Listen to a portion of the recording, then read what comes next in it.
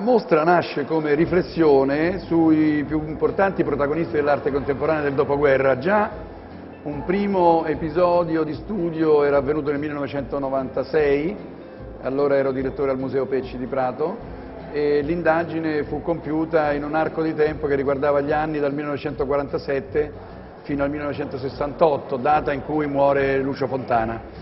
In questa mostra invece di Catania alla Fondazione Puglisi Cosentino il tempo è stato dilatato in quanto arriva fino alla morte stessa di Burri, che avviene nel 1995, quindi l'indagine si è molto amplificata e la riflessione si è incentrata soprattutto sugli aspetti che riguardano la spazialità per Fontana, dunque la scultura in modo preminente, e per Burri la pittura.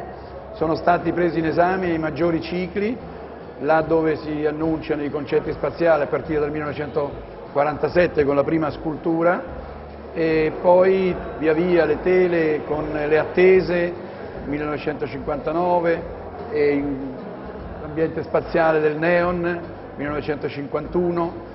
i più grandi cicli di Fontana. Idem per quel che riguarda Burri, tutte quante le opere che hanno avuto come contrassegno la materia, a partire dai Catrami del 1949 e poi il Sacco nel 50-51 avanti così con le plastiche, i cellotex, i legni, le combustioni fino alla fine dei suoi giorni. Li coniuga soprattutto l'invenzione linguistica, loro sono due creatori di linguaggio che hanno in qualche modo sulla tradizione innestato una modalità assolutamente diversa di concepire lo spazio, la forma, l'equilibrio tra i materiali e la forma e direi che sono due artisti che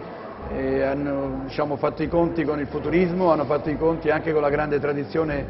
barocca e rinascimentale.